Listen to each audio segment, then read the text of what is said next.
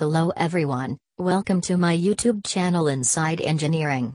In this video, we are going to discuss the difference between a two-stroke engine and a four-stroke engine. To understand how these engines are different, first, we must understand the meaning of the stroke. Stroke or engine stroke means in simple term movement of the piston inside the cylinder. The piston moves up and down in the engine cylinder within the two extreme limits. The lower limit called the bottom dead center and upper limit called the top dead center. So, stroke means the movement of the piston from either bottom dead center to top dead center or top dead center to bottom dead center. I hope you have understood the meaning of the stroke.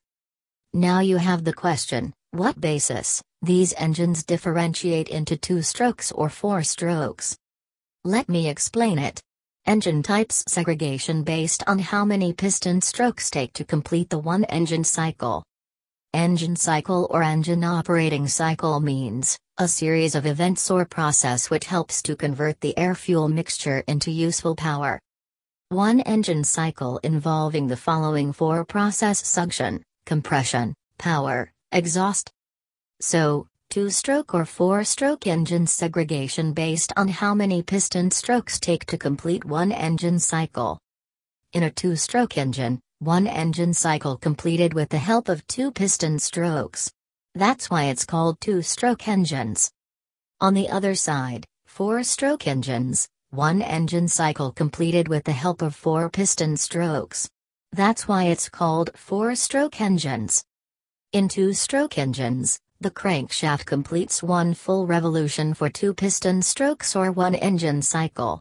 So, we get power from every revolution of the crankshaft.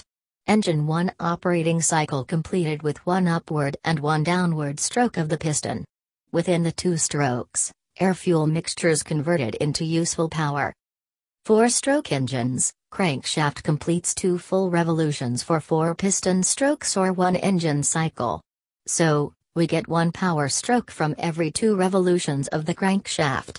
Engine 1 operating cycle completed by following four strokes first suction stroke, second compression stroke, third power stroke, and the final one is the exhaust stroke.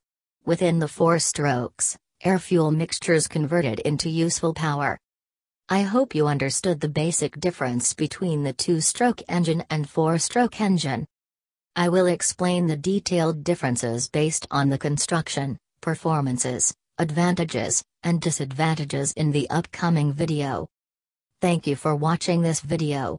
If you like this content, please subscribe to my channel for more automobile related videos.